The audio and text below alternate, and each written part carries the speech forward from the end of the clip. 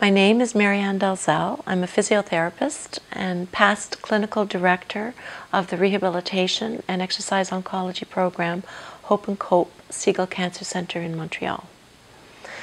The next question that I'd like to address with respect to bone health and cancer is the fact that many patients have bisphosphonates prescribed in order to improve their bone status because physicians and their oncologists know that either in the case of bone metastasis or denurturing of bone, increased risk for osteoporosis, that many of these patients have been prescribed bisphosphonates in order to prevent deterioration of bone or to actually treat the bone metastasis.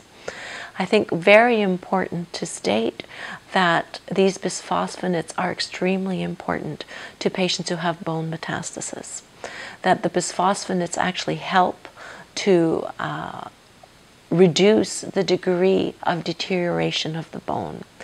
Um, they stop the excessive activity of one of the uh, one of the uh, bone builders that is working overtime and stops it from destroying the bone or creating greater tumors within the bone. So, in those cases, it's extremely important that you take your bisphosphonates, particularly if in conjunction with radiotherapy, which is, which is being used to destroy bone tumors. Um, you take the bisphosphonate, there's always the chance that this bone will heal. And it may heal uh, perhaps a, a bit thicker than it would normally have been. But there's very good evidence that with bisphosphonates and radiotherapy and potentially chemotherapy, in order to kill your cancer, that these bones can in fact heal over time. So this is tremendous hope for those of you who do have bone metastasis that there presently is treatment for it. And this would allow you to go back to your normal activity levels, and it's of huge benefit.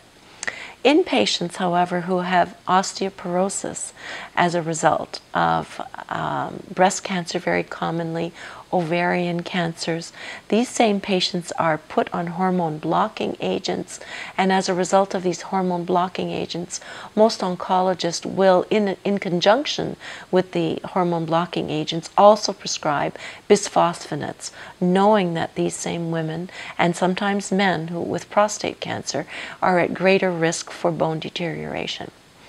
Now, the here there has not been shown greater great evidence to show that you need to retain these bisphosphonates or keep these bisphosphonates and keep taking them over prolonged periods of time.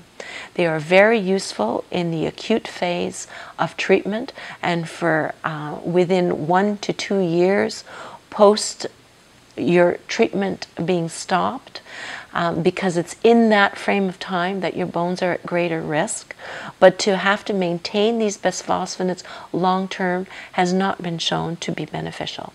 In fact, at that point in time, it is highly likely that you're doing exercises along with the bisphosphonates in the early phase and then maintaining a good exercise level, which puts appropriate stress and strain through your bones, appropriate impact, helps the bone build itself. That would be the most natural way to improve your bone health and most highly recommended.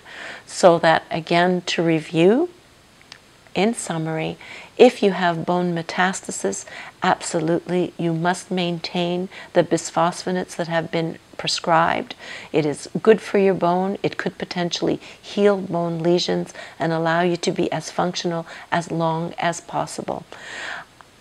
However, when you have osteoporosis as a result of denurturing of the bone because of chemotherapy or cortisone therapies or, or uh, hormone blocking agents, those bisphosphonates should normally be prescribed on a more short term basis post treatment, and that doing exercise along with them is always better than just taking the medication and doing nothing, and then maintaining those exercises long term for you to maintain your bone health is most highly recommended.